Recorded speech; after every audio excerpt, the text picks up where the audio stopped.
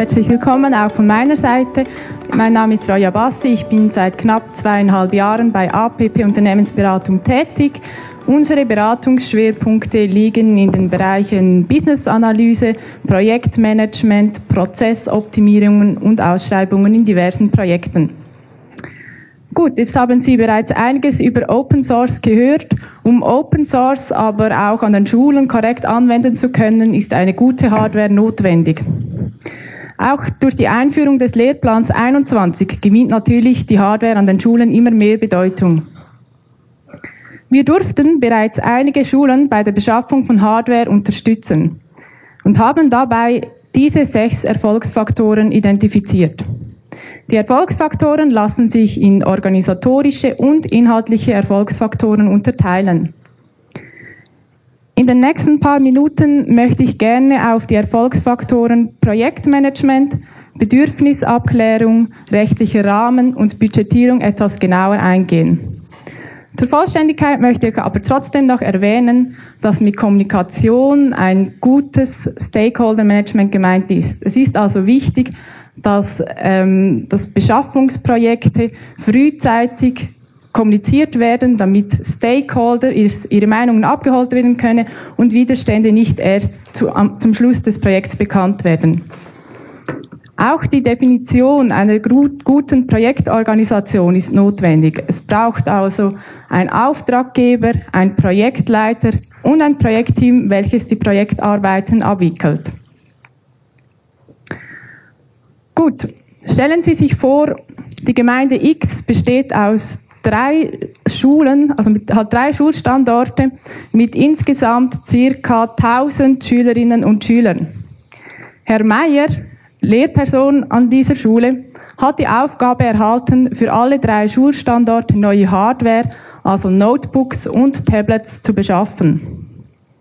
Ja, was ist jetzt wichtig? Herr Meier braucht ein gutes und strukturiertes Projektmanagement. Dies führt uns ersten, zum ersten Erfolgsfaktor. Projektmanagement wäre eigentlich ganz einfach. Es geht lediglich darum, die Erfolgsdimensionen Lösungsumfang, Termine, Aufwand, Kosten und Qualität gut zu koordinieren. Das Problem ist leider, dass sich diese Erfolgsdimensionen gegenseitig konkurrieren. Wenn also beispielsweise Herr Mayer, um auf das Beispiel zurückzukommen, qualitativ hochstehende Hardware, also Laptops und Tablets beschaffen möchte, muss er im Gegenzug dazu mit höheren Kosten rechnen. Oder aber, wenn der Lösungsumfang erhöht wird, also wenn nebst der Beschaffung von Hardware auch die, der initiale Rollout an eine externe Firma vergeben soll oder der Support der Geräte an eine externe Firma vergeben soll, kann der ursprüngliche Einführungstermin nach den Herbstferien nicht eingehalten werden. Also Sie sehen, wenn eine Dimension erhöht wird, muss häufig ein Kompromiss bei einer anderen Dimension eingegangen werden. Wir verwenden bei unseren Projekten häufig die Projektmanagement-Methode Hermes, welche aktuell in der Version 5 verfügbar ist. Hermes hat den Ursprung in der Verwaltung und wird heute auch in Kantonen und Gemeinden weit verbreitet. Hermes ist zudem lizenzkostenfrei anwendbar und besteht aus vier Phasen. Die Phase Initialisierung, wo ein Projekt geplant und eine Lösung definiert wird. Die Phase Konzept, wo die definierte Lösung weiter detailliert wird. Die Phase Realisierung, wo dann die Hardware beim Lieferanten bestellt wird. Und die Phase Einführung, wo die Hardware in die Infrastruktur der, Schule ähm, eingeführt wird. Hermes hat am Anfang und am Ende des Projekts und zwischen den Phasen Meilensteine. Diese haben zum Ziel, dem Auftraggeber einen Projektstatus zu geben, damit er jeweils über das weitere Go oder No-Go des Projekts entscheiden kann. Gut, Herr Meier hat nun eine Struktur, er weiß, wer das Projekt managen muss. Ein weiterer Erfolgsfaktor ist aber auch die Bedürfnisabklärung. Sie erinnert sich, die erste Folie, dies ist grün eingefärbt und somit ein inhaltlicher Erfolgsfaktor. Die Bedürfnisabklärung hat zum Ziel, die Frage zu beantworten, weshalb welche Hardware beschafft werden soll. Um diese Frage beantworten zu können, lohnt es sich in einem ersten Schritt die Ziele zu definieren. Also weshalb soll, für was soll die Hardware beschafft werden? Weshalb? Ein mögliches Beispiel für ein Main wäre, zum, wäre, dass er für alle Schulstandorte die gleiche Hardware beschafft. Ein weiteres Ziel wäre, dass er eine Hardware beschafft, die einen zeitgemäßen Unterricht erlaubt und auch die Lehrpersonen dazu motiviert, die Hardware an der Schule zu verwenden. Ein weiteres Beispiel wäre aber auch, dass er Hardware beschafft, die die Verwendung von Open Source ermöglicht. Im Idealfall sind Ziele messbar, damit die Ziele nach der, ähm, na, damit die Zielerreichung nach Projektschluss beurteilt werden kann. Häufig gibt es verschiedene Varianten, wie ein Ziel erreicht werden kann. In einem nächsten Schritt müssen deshalb die Lösungsvarianten aufgezeichnet werden, damit die Lösungen beurteilt und bewertet werden können und anschließend eine Lösung definiert werden kann. Wem sagt der Begriff morphologische Kasten oder Zwickybox etwas? Sehr gut, das sind nicht allzu viele und deshalb ideale Voraussetzungen für die nächste Folie. Denn der morphologische Kasten hat sich als ein zielführendes Instrument für die Lösungsentwicklung etabliert. Der morphologische Kasten ist eine Matrix, welche aus Kriterien besteht, die einen entscheidenden Einfluss auf die Beschaffung haben und deren Ausprägungsvarianten. Ein wichtiges Kriterium ist zum Beispiel die Art der Arbeitsgeräte. Also es können stationäre oder mobile Arbeitsgeräte beschafft werden. Dann weiter die Geräte an der Oberstufen. Da wäre es möglich, eine 1 zu 1 Ausstattung zu machen. Es wäre auch möglich, pro Schulklasse eine bestimmte Anzahl an Geräten zu beschaffen. Auch wäre es möglich, pro Stockwerk eine bestimmte Anzahl zu beschaffen und diese dann auf Geräten, äh, auf Wagen zu platzieren. Und dann als vierte Variante wäre eine Kombination der Ausprägungsvarianten 2 und 3 möglich. Dann auch das Betriebssystem. Man könnte für alle Schulstandorte das gleiche Betriebssystem verwenden oder den Schulstandorten die Auswahl überlassen. Durch die Kombination der verschiedenen Ausprägungsvarianten entstehen verschiedene Lösungsvarianten. Wir arbeiten oft so, dass wir mit den Kunden zuerst die Minimal- und Maximalvariante definieren, da die Realität, also diese Lösung, die dann wirklich beschafft wird, meist dazwischen liegt. Hier grün eingefärbt sehen Sie die Lösungsvariante von Herrn Meyer, die er für seine Schule äh, beschaffen wird. Also es wird mobile Arbeitsgeräte geben und für jedes Stockwerk wird ein Drucker beschafft etc.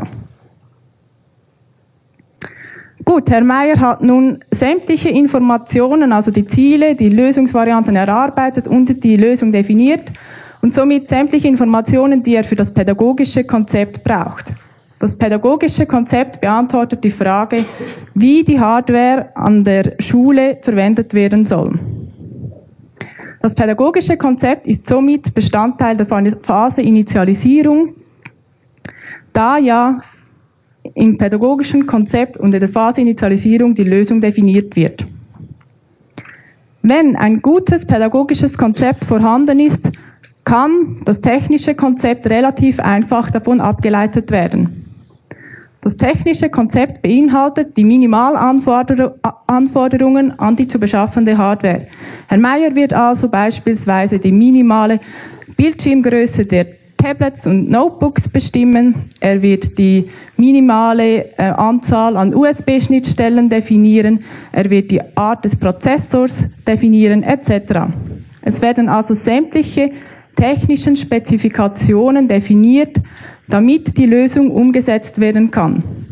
Und da ja die Lösung von den Zielen abgeleitet werden, können somit auch die Ziele erreicht werden. Das technische Konzept ist Bestandteil der Phase Konzept, weil die definierte Lösung weiter detailliert wird.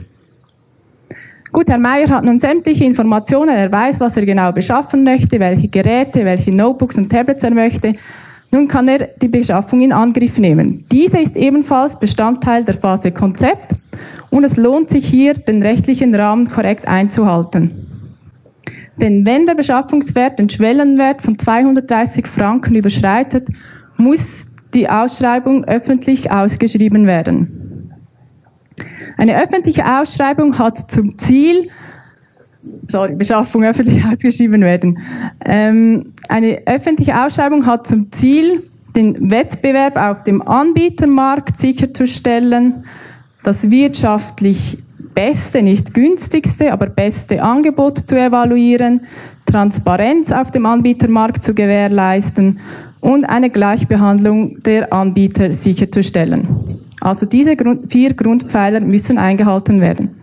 Es lohnt sich hier genügend Zeit einzuplanen. Wir planen jeweils mit einer Durchlaufzeit von knapp fünf Monaten, weil zuerst die Ausschreibungsunterlagen erstellt werden müssen, dann muss die ganze Ausschreibung mindestens 40 Tage publiziert werden, dann müssen die eingegangenen Angebote noch evaluiert werden, bevor dann irgendwann ein Vertragsabschluss gemacht werden kann. Es gibt immer wieder Fälle, wo solche Verfahren nicht mit der notwendigen Sorgfalt abgewickelt werden. Es gab da zum Beispiel einen Fall in einer Berner Gemeinde, da wollte man ebenfalls ähm, Hardware beschaffen und da gab es von einem Anbieter einen Rekurs, weil gemäß Anbieter nicht produktneutrale Hardware ausgeschrieben wurden, also nicht produktneutrale Kriterien. Die Schule, Gemeinde wollte, wollte konkret Apple-Produkte und dies hat dann den Wettbewerb eingeschränkt und somit diesen Grundpfeiler verletzt. Ja, solche Rekurse können natürlich extreme terminliche Verzögerungen mit sich bringen. Deshalb, es lohnt sich wirklich hier bereits zu Beginn alles genau einzuhalten. Gut, den letzten Erfolgsfaktor, den ich gerne noch nennen möchte, ist die Budgetierung. Die Kosten sind in den Projekten immer wieder ein wichtiges Thema. Nun ist es ja so, dass Herr Mayer zu Beginn des Projekts die konkreten Gesamtkosten nicht nennen kann. Also, was muss er machen? Er muss am Anfang eine grobe Schätzung der Gesamtkosten machen. Dies gibt ihm dann bereits einen Hinweis darauf, ob der Schwellenwert überschritten wird, beziehungsweise ob eine öffentliche Ausschreibung notwendig ist oder nicht. Ebenfalls zu Beginn des Projekts müssten minimale Kosten genehmigt werden, damit die Phase Initialisierung und Konzept abgewickelt werden können. Denn erst in der Phase Konzept wird ja die äh, Ausschreibung publiziert. Das heißt, erst dann werden die Angebote bekannt und erst dann kann berechnet werden, wie, viel, wie hoch die konkreten Gesamtkosten wirklich sind. Die konkreten Gesamtkosten werden also Ende Phase Konzept berechnet und zum gleichen Zeitpunkt werden auch die konkreten Gesamtkosten genehmigt. Dies ist ebenfalls ein eher längerer Prozess, weil meistens Botschaften verfasst werden müssen, die dann vom Gemeinderat freigegeben oder genehmigt werden müssen oder dann wird das Projekt sogar an einer Gemeindeversammlung traktandiert. Sobald dann die konkreten Gesamtkosten freigegeben sind, können in der Phase Realisierung die Geräte bestellt bzw. vom Lieferant geliefert werden, damit dann die Hardware in der Phase Einführung auch in die Infrastruktur eingebunden werden kann. Gut, ich habe jetzt etwas Zeit gut gemacht und hoffe, dass ich Ihnen trotzdem ein paar Erfolgsfaktoren ähm, aufführen konnte und stehe natürlich auch für Fragen später noch zur Verfügung. Fantastisch, vielen Dank für dein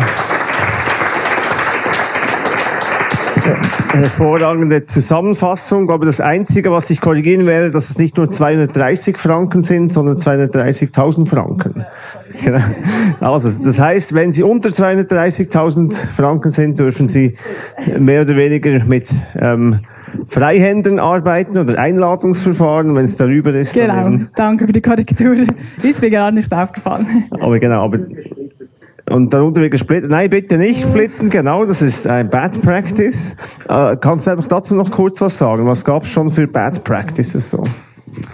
Äh, ja, eben, es kommt immer wieder zu Ressourcen. Splitten ist eigentlich auch nicht erlaubt. Also wenn das herauskommt, ähm, kann es Probleme geben. Und eben auch so äh, Apple, konkret Apple-Produkte ausschreiben oder es kam auch vor, dass bereits so vor der Publikation Offerten eingeholt wurden, damit irgendwie ähm, Kosten geschätzt werden konnten. Dies ist natürlich auch nicht gut. Wenn dies auffliegt, kann nochmals von vorne begonnen werden.